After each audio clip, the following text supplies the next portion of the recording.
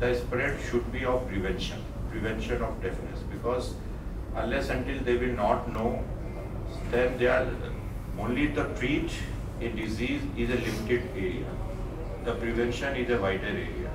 So prevention you you must uh, find out, and uh, more important is the uh, because uh, the deafness is of two types if I am not wrong. One is uh, that it's congenital, it's uh, because of some uh, some problem in the development you are having uh, this type of deafness, and other is is which is done by some mistakes by ourselves or by the uh, so-called uh, the practitioner who are not qualified to perform many procedures. So, or even in some circumstances, we used to perform some activity uh, in lack of uh, the proper facilities.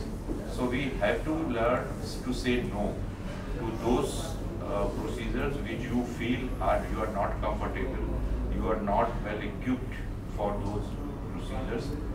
Only then you can prevent the complication.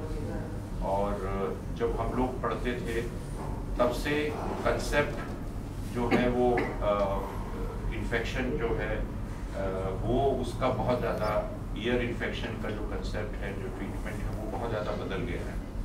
तो मुझे ऐसा लगता है कि आप लोगों के ऊपर बहुत बड़ा काम है।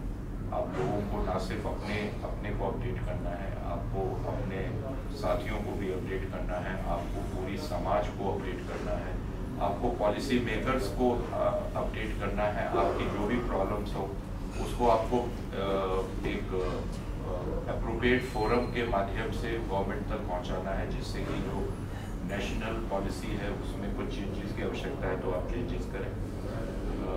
मेरे, मुझे ऐसा लगता है कि इस, जितने दो हम लोग इस तरीके की एक्टिविटी कर रहे हैं तो ये एक ग्रुप बनना चाहिए व्हाट्सएप ग्रुप बने आप लोगों का, जिसमें आप लोग अपनी प्रॉब्लम्स को सॉल्व कर सके, अपने एक्सपीरियंस को शेयर कर सके। और फ्यूचर के प्लान आप लोग कर सकें कैसे आप करें और आ, मुझे बहुत खुशी होगी कि यदि कहीं पे आ, किसी दूसरी जगह पे आप लोग कुछ इस प्रकार का कार्यक्रम करें और हमारे यहाँ के लोग वहाँ जाएँ और अपनी स्किल को वहाँ पे स्प्रेड करें तो एम्स उसके लिए भी ओपन है।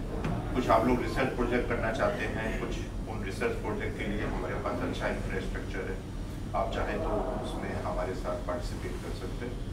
इन्हीं शब्दों के साथ बहुत बहुत धन्यवाद आप